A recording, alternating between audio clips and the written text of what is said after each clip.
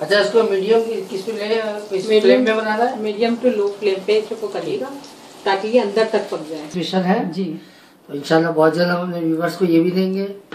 इस तरह चाट मसाला डाल देगा और जो नींबू लाइक करते हैं वो ऊपर से प्याज, डायरेक्ट नहीं डाले क्योंकि खराब होगा तो आपका सारा मसाला भी सारे मसाले डाले जाएँगे। इसके अंदर डाल देंगे ठीक। बिस्मिल्लाहिर्रहमानिर्रहीम। अस्सलाम वालेकुम कुकिंग विद हस्बैंड में मैं हूँ और ये है। हुसैन अस्सलाम वालेकुम कैसी मेरी यूट्यूब फैमिली? आई होप इंशाल्लाह बहुत अच्छे होंगे। अपना टाइम बचाते हैं शेफ से पूछते हैं। शेफ आज हमारे किचन में क्या बन रहा है? हमारे यहाँ आज क्रिस्पी फ्राई फ़िश बन रही है। तो व्यूवर्स आज हमारे यहाँ बहुत ही यमी ज़बरदस्त सीख फ़िश होने वाली है और वो क्रिस्पी भी है और यमी भी है और फिर फ्राई भी है। जी हाँ। तो हम अपना टाइम बचाते हैं आपको सामान बताते हैं इंग्रेडिएंट्स वगैरह। ये हमने कितनी ली है? पाँच सौ ग्राम लिए ये हाफ़ के जी हमने 500 ग्राम ली है। अच्छा ये क्या है? ये क्रम लिया है मैंने।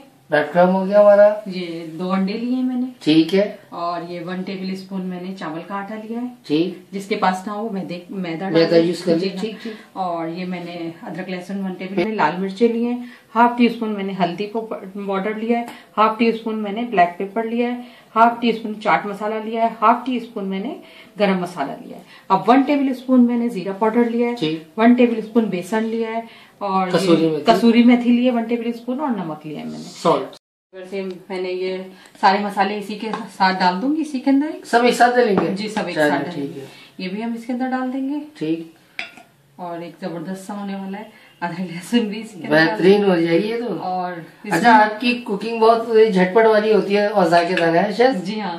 अच्छा ये क्या कहते हैं? अंडे की स्टेज पे अंडे भी इसी वीडियो में बोली बहुत ज़बरदस्त होने वाला है। ये तो आपने मिनटों में कर दी रेसिपी और बहुत फटाफट से हो जाएगी बस इंशाल्लाह। बस हमने ये ठीक।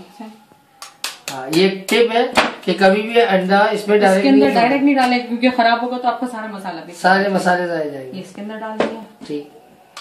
ये ज़बरदस्त होने वाला है कि आपका बहुत ज़बरदस्त क्रिस्पी सी बनने वाली है फ़िश इंशाल्लाह इंशाल्लाह। और ये बनती है हमेशा बहुत अच्छी बनती है। और आज भी इंशाल्लाह ऐसे ही बनेगी ठीक। अच्छा इसके अंदर ना फ्रूट कलर अच्छा। भी डाल दिएगा थोड़ा सा डाल सकते हैं इसमें? जी डालते हैं क्योंकि कलर के लिए। अच्छा सा बहुत अच्छा प्यारा कलर आता है। मैंने भी डाला है तो मैंने आपको बता दी देखिए। तो देखिए एक बन इसके अंदर फ़ूड कलर डालना नहीं भूलिएगा। अगर जिनके पास फ़ूड कलर ना हो वो जर्दे का कलर डाल दें। ठीक। क्योंकि बहुत अच्छा सा कलर आता है इसमें। हाँ इंशाल्लाह। इंशाल्लाह बस। अच्छा इसकी एक कोटिंग करनी है ना शायद? जी बस एक कोटिंग करनी है। बस ये एक इस तरह आप इस स्टेज पे आप लोग अपने फ्रिज में भी रख सकते हैं।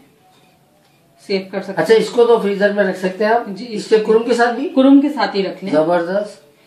और जब मर्ज़ी आए मेहमान आए थोड़ी देर पहले निकाल दें। बच्चों को या बच्चों को देना हो या लंच बॉक्स में देना हो तो आप निकाल बहुत ज़बरदस्त है आपने स्टोर करने का तरीका भी बता दिया ना। जी स्टोर कर लें इसको। ठीक। हम आपको बताते हैं। देखिए व्यूअर्स ये रेडी हो गए हमारे मैंने क्रोम लगा दिया इसके ऊपर। और अब हम ये इस- स्टेज पे हम इसे डिफ्रीजर में सेव भी कर सकते हैं। कर सकते स्टोर कर सकते। देखिए व्यूअर्स ये रेडी हो गया हमारा ऑयल अब हम ये हुसैन देगा ये लो।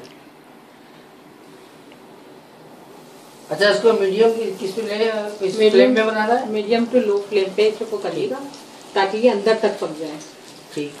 जय मैडम बस काफ़ी है? जी।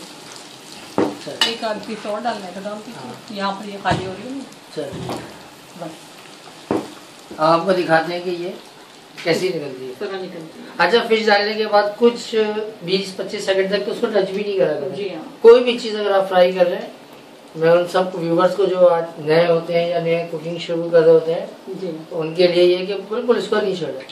वरना वो बिल्कुल उसका मज़ा नहीं आता। थोड़ी देर बाद इसको फिर आप। बताते हैं देखिए व्यूअर्स ये हमारी रेडी हो गई है। बिल्कुल क्रिस्पी सी बहुत अच्छी। तो कलर भी बहुत अच्छा है।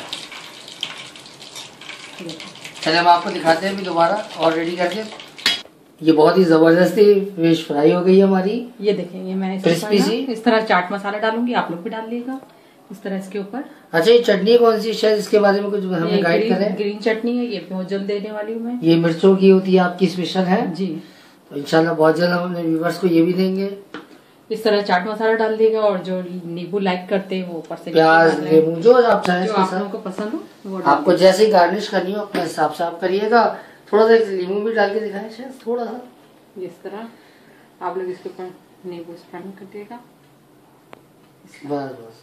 ज़बरदस्त। बाज लोग बहुत शौक से खाते हैं तो ज़्यादा डालते हैं। हाँ। लेकिन इसमें चाट शायद अपना चाट भी नहीं क्या? चाट मसाला भी मैं आप लोगों को दूँगी बहुत आपको बहुत जल्द चाट भी मिलने वाला है। शायद पहले भी मैंने दावा किया कि कहीं नहीं मिल सकता आपको इंशाल्लाह। जल्द। जी बहुत ये शायद ने खुद क्रिएट किया है शायद? जी। तो इंशाल्लाह इसकी रेसिपी भी मिलेगी और आपको ये ग्रीन चटनी की भी मिलेगी बहुत जल्द। व्यूवर्स आपको हमारी ये वीडियो कैसी लगी? आई होप इंशाल्लाह बहुत अच्छी लगी होगी। इसके बारे में कमेंट्स करिएगा। शायद आप क्या कहना चाहेंगे इसके बारे में? मैं ये कहूँगी कि अगर आपको मेरी वीडियो अच्छी लगी तो लाइक करें शेयर करें और कमेंट्स करें। और इसी तरह हमारे साथ जुड़े रहें तो हम अच्छी अच्छी रेसिपीज़ आपको देंगे। और नए आने वालों के लिए ये कि सब्सक्राइब करें। तो व्यूवर्स आपको ये हमारी फ़िश कैसी लगी? इंशाल्लाह आई होप बहुत अच्छी लगी होगी। शायद हमने इससे पहले भी फ़िश बनाई है दो तीन दो तीन बनाई हमने इसमें फ़िश फ्राई एक और बनाई थी। कटाकट बनाई कटाकट बनाई थी। एक फ़िश फ्राई दूसरी स्टाइल में बनाई थी। तो उसका भी एक रोस्ट बनाएँगे हम हाँ। बहुत तो अच्छा अच्छा जो बन चुकी है उसका लिंक हम डिस्क्रिप्शन में डाल देंगे। तो व्यूवर्स आपको ये हमारी वीडियो कैसी लगी? इसके बारे में कमेंट्स करिएगा। और इंशाल्लाह नेक्स्ट वीडियो में जब तक अपना बहुत ख्याल रखिएगा। अल्लाह हाफिज।